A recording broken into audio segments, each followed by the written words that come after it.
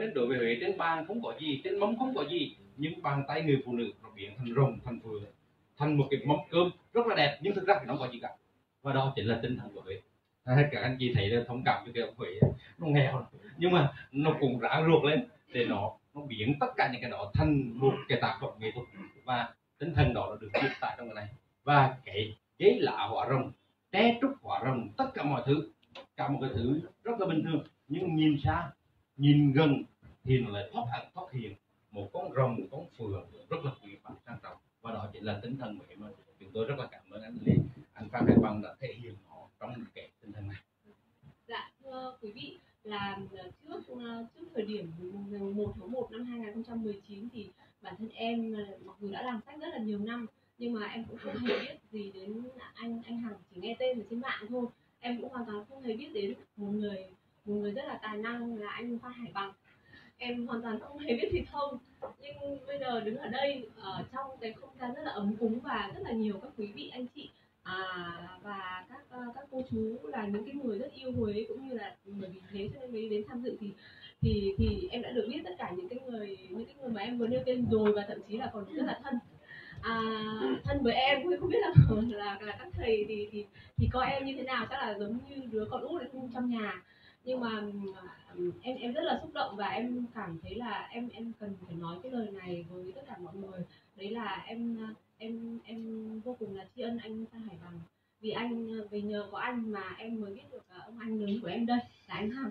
Nhờ có anh, em mới được gặp à, thầy Quang và thầy Thông là những cái người rất là thông thái và và và đã mang tới một cuốn sách vô cùng quý giá. Em cũng chia sẻ với cả anh à, thầy Quang là à, thực ra khi mà em đọc cái bản bản dịch của thầy Quang thì em đã vô cùng xúc động.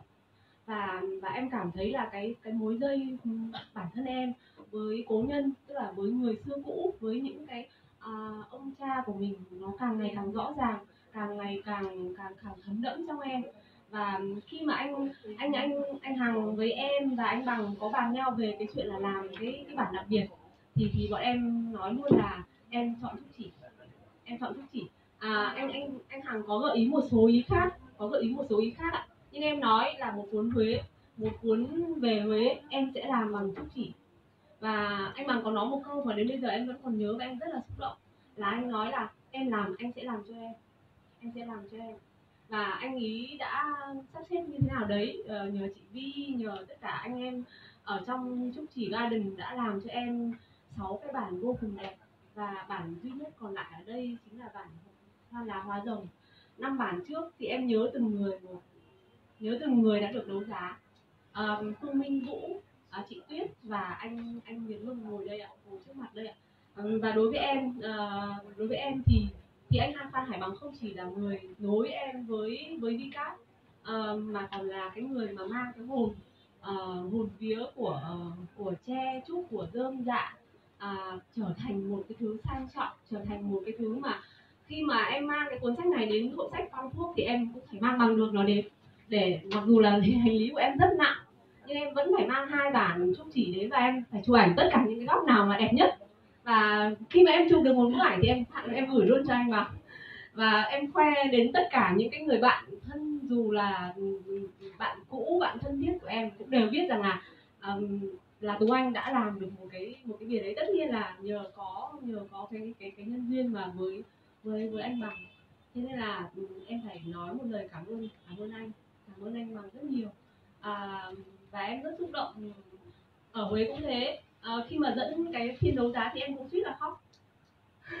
Bởi vì là em cảm thấy là một cái người nào mà sở hữu cái cuốn sách ừ, à, sở hữu cái cái cái bản hoa lá hoa rồng hay là bản phụng hay là bản hay là bản à, bản long chẳng hạn thì đối với em nó đều là một phần máu thịt của em đã ra đi thế nên là hôm nay hôm nay thì giống như mọi người biết hôm nay là Black Friday tức là một cái ngày sale trên toàn thế giới. Tất cả mọi người đổ xô đi để mua mua giảm giá anh hàng ạ. Nếu mà hôm nay không có cái sự kiện này chắc em em với anh cũng đi ở trong siêu thị đang ôm rất là nhiều rất là nhiều đồ. À, mọi người thì đang đang giảm giá còn ở đây chúng ta sẽ đấu giá để mà tri ân một thứ không hề được giảm giá không bao giờ được giảm giá và nó cũng chỉ có một mà thôi à, giá khởi điểm là 1 triệu 919 ngàn để ừ, nhớ đến cái năm 1919 là cái năm mà ừ, ai là huế mới ra đời lần đầu. À, ai cũng sẽ thắc mắc là cái quỹ văn hóa huế là cái gì?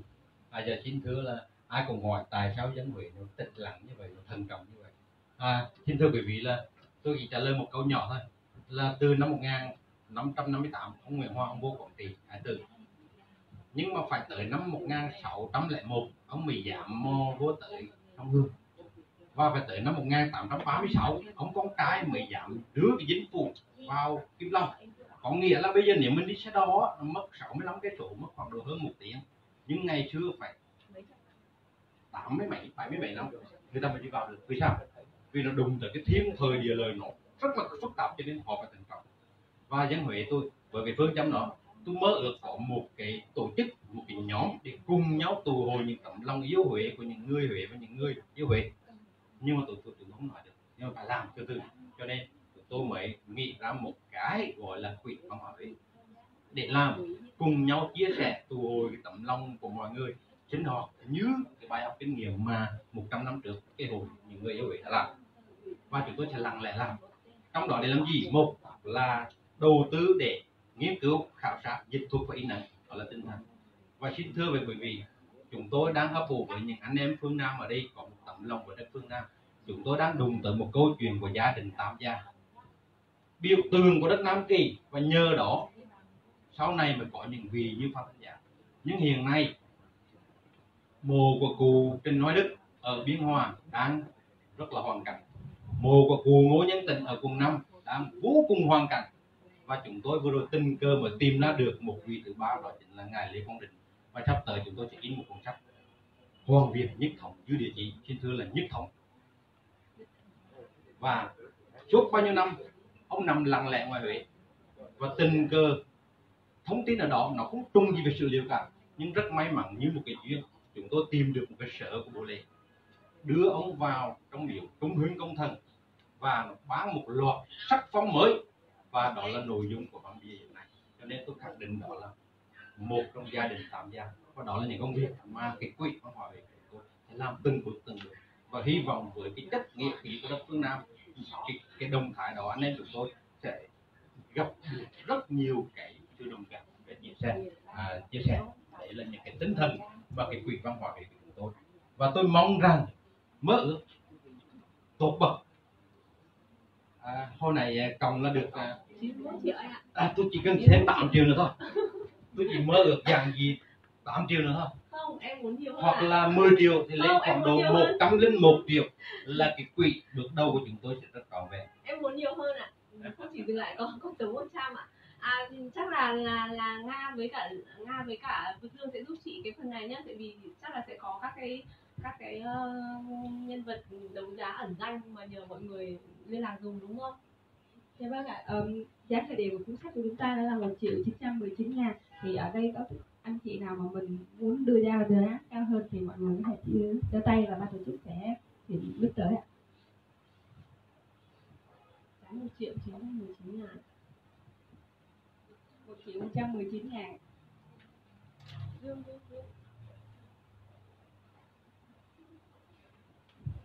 nghe nói là sẽ có một vài người nhờ nhờ mọi người mà mọi người không có ở đây ấy. Dương liên lạc cùng chị với vì cái đấu giá bắt đầu rồi. 5 triệu dạ dạ cô 5 triệu ạ. Dạ. Dạ vâng. Em sẽ lên uh, 6 triệu. 6 triệu. Lên 6 triệu nữa. Lên 6 triệu là 11 triệu ạ. 6 triệu ạ. Dạ vâng 6 triệu là anh cho em biết thông tin dạ nếu như mà ai mua bán sách thì sẽ biết em em là bá tân ạ. Xin chào tất cả mọi người. Là cũ sách cũ đấy. Các anh hẳn biết đúng không Vâng, anh Khánh Tân đã đưa ra mức giá là 6 triệu 6 ạ. triệu ạ. Vâng ạ. 6 triệu. Một anh bán sách cũ. À, là 6 triệu ạ. Dương có chưa dương hôm nay à, à, có hai vị khách mà chúng tôi rất là muốn giới thiệu. Một người là con nhà thân trọng rất tiếc là vừa về rồi. Và cô mới lên tiếng đầu tiên đó chính là con nhà hồ đập Huế. Cô dạ. hồ đập tiểu anh. Cũng trời nhiều nhà lắm.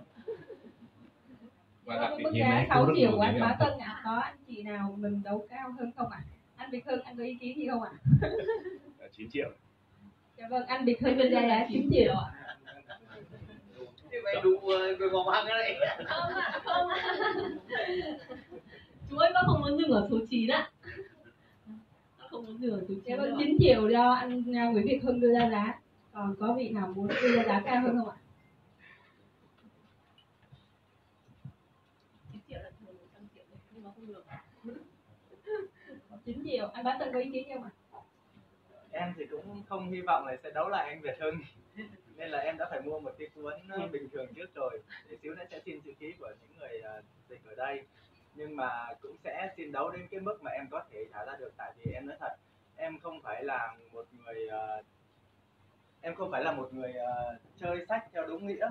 Nhưng mà với những ai mà chơi sách thì sẽ sẽ sẽ, sẽ biết được cái sự chân quý của cái cuốn sách này. Khi mà cái nội dung của nó viết về Huế nói nó, nó viết về Huế nói nó nói riêng nhưng mà nói về Việt Nam nói chung rồi toàn bộ những cái ekip làm ra cái cuốn sách dịch ra cuốn sách mới này lại cũng là tất cả mọi người đều liên quan đến Huế. Và một cái chất liệu như vậy cái hộp thì em không ưng lắm nhưng mà em cũng sẽ có một cái cách khác để có thể làm lại được.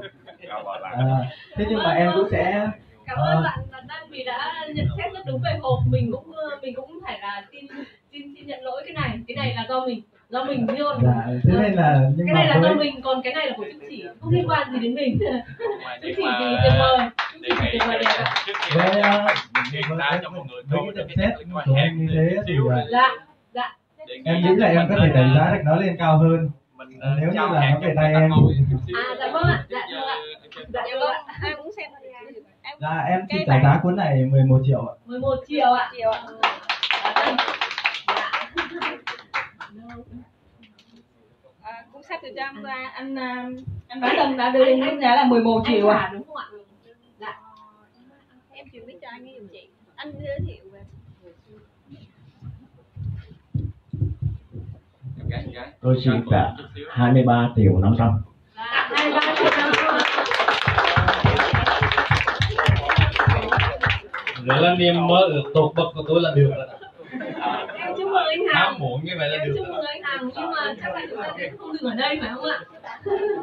Bây giờ là em đang cảm thấy là nó nó Dạ, anh có thể giới thiệu đôi nét để mình nữa không ạ? Để lát nữa em có thể đọc tên anh và mời đấu tiếp tục ạ.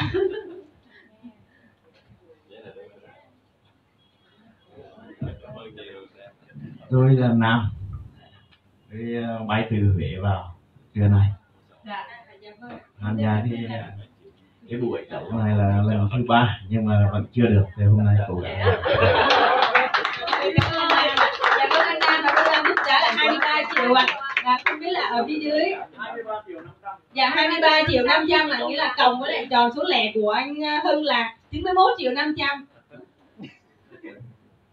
dạ vâng 23 triệu 500 là Đây, tiếp tục ạ. à.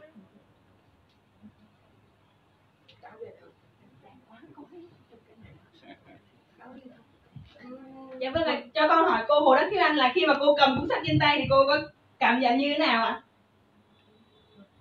À, tôi hân hạnh được phỏng vấn câu này tại vì tôi mơ ước nhưng mà với một cái giá của người bạn đồng hương của tôi cao quá. Thì tôi đành phải xin đầu thèm thôi. Và bởi vì cái cuốn sách này không những là về giá trị về văn học về giá trị về tất cả những cái tinh túy của các học giả mà đây còn là thể hiện một cái chính nhân quân tử bởi vì trúc là tượng trưng cho người quân tử mà ông đem quân tử về nhà thì tôi xin chúc mừng ông Vâng. Dạ vâng, với mức giá 23 triệu 500 từ anh Nam ạ. Không biết anh chị nào có tiếp tục đấu không ạ? 25 triệu 25 triệu 25 triệu anh Hưng đấu 25 triệu Nguyễn Việt Hưng đấu với giá là 25 triệu ạ. anh Hưng trả 25 triệu ạ chắc là chút xíu nữa cô cô thiếu anh chắc là phải chụp ảnh Dạ, ở đây có anh chị nào muốn ờ, sờ tận tay cuốn sách trên tay em không ạ? người khác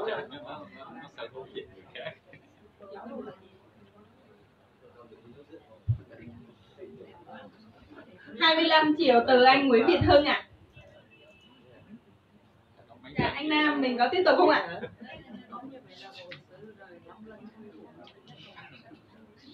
Hơn một phần trăm còn có phần có phần quy về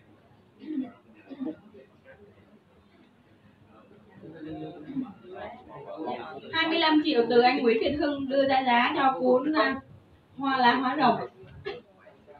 Ngay ngày hôm nay chị có chị có được là người quyết định mức cuối cùng không nhỉ? Ai sẽ là người quyết định? thời gian đấu giá của chúng ta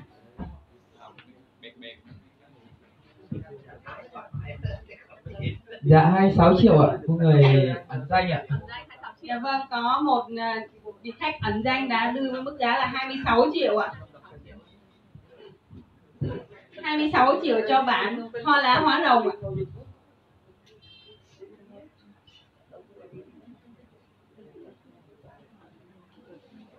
hai mươi sáu triệu cho hoa lá hóa rồng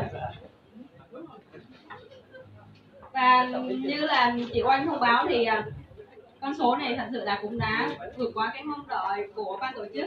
Nên là ban tổ chức sẽ cho khoảng 5 phút nữa để tiếp tục chúng ta ra giá. 26 triệu cho hoa lá hóa rồng với một vị khách ẩn danh ạ. 28 28 dạ anh Nguyễn Việt Hưng đã ra giá 28 triệu ạ 28 triệu. dạ vâng anh Nam bên kia có có mức giá. 33 triệu. 33 triệu 33 triệu cho hoa lá hóa rồng từ anh Nam. Ạ 33 triệu. Dạ, Phát em có thể chuyển hoa lá hóa rồng tới cho anh Nam sờ thử để tiếp tục ạ. 26 triệu. À, 33 triệu xin lỗi 33 triệu cho hoa lá hóa rồng từ anh Nam ạ với tư cách là cái người mà làm làm biên tập cuốn sách cũng như là theo cuốn sách từ đầu cho đến cuối đến giờ ấy thì uh, thì mọi người có muốn em bật mí lý do tại sao em để cái cuốn cái bản này cuối cùng để đấu giá ở thành phố Hồ Chí Minh không ạ? em nghĩ tất cả mọi người đều mong muốn chỉ có thể chia sẻ trong lúc mà mọi người đang suy nghĩ để ra con giá tiếp theo ạ giống như là cái ý mà thầy công đã tâm đắc về về cái nhận xét khi mà ông Cartier đã đã nói đấy ạ. Đấy là cái cái hóa thức đấy ạ.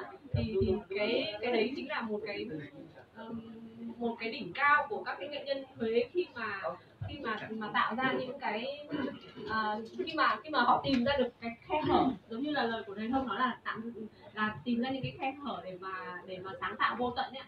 Thì thì cái bước qua lá hóa rồng này chính là có ý nghĩa như vậy đấy ạ.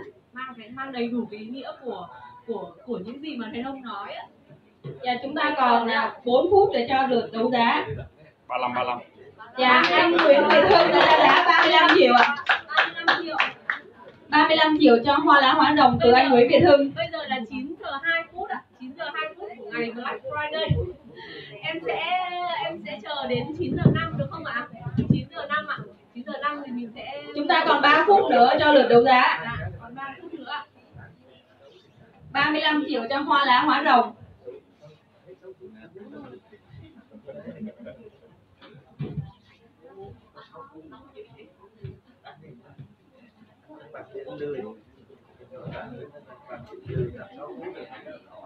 anh anh Bằng có muốn cầm lại cuốn sách của mình không ạ?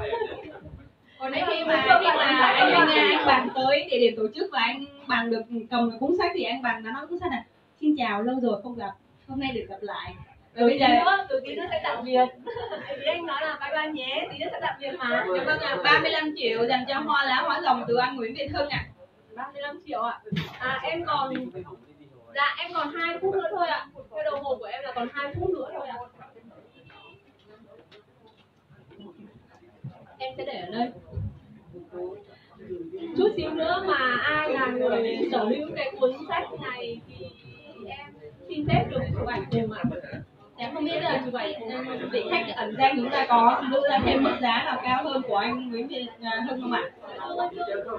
đưa đưa đưa thông báo, Vị khách ẩn danh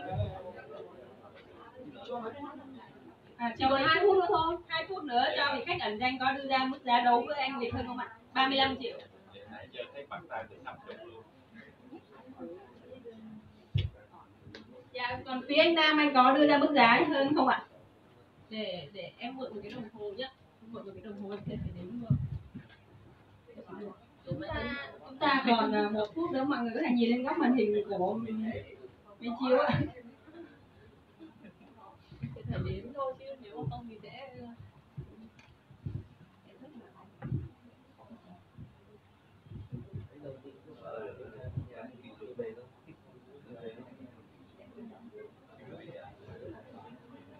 Hôm qua tổ chức trẻ du đi từ ờ, bù giờ chúng ta sẽ có 2 phút nữa để đấu giá cho lượt vốn của hoa lá hoa dầu ạ.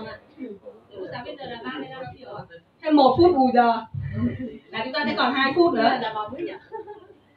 Sao mình ủng hộ một SEA Games 35 triệu cho hoa lá hóa rồng từ anh Nguyễn Việt Hưng ạ Anh bằng giơ tay à?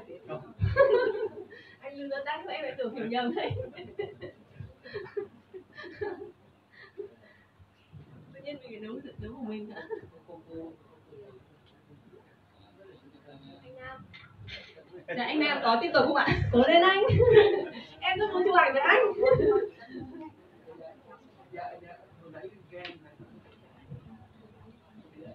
chúng ta sẽ còn à, một phút nữa Dạ còn đúng 5 phút nữa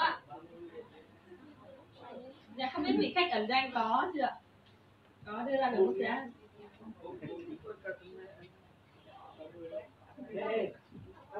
50 giây ạ. 35 triệu cho hoa lá hóa rồng từ anh Nguyễn Việt Hưng Còn còn 40 giây nữa thôi ạ. 40 giây nữa là, là chúng em xin phép chốt ạ. chúng ta còn 30 giây ạ em sẽ đếm ngược 30 giây nhé 25 thôi. từ 20 thôi Còn 20 20 à, bắt đầu đến từ 20. 20 20 19 19 18 17 16 15 dạ anh Nam đã giơ bay à Vâng. 10 triệu 40 triệu từ anh Nam à?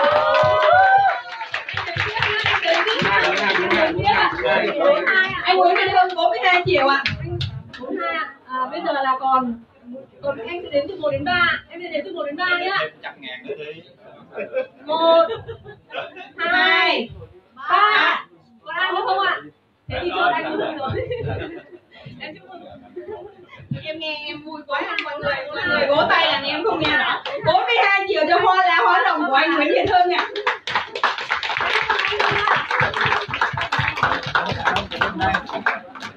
Là cảm ơn tất cả mọi người đã tham gia vào cái um, phần đấu giá cho bốn bản hoa lá hóa đồng này. Và thật sự là xin chúc mừng anh Nguyễn Thị Hưng.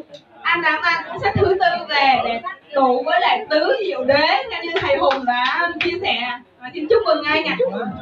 Em rất là cảm ơn tất cả các quý vị và em cảm ơn anh Nam cảm ơn chị khách ẩn danh cảm ơn anh Bá Tân và con cảm ơn cô Hồ Đắc Thiếu Anh đã đưa ra giá đấu cho buổi ngày hôm nay. Và xin mời à, anh Phan Hải Bằng và anh Trần Đình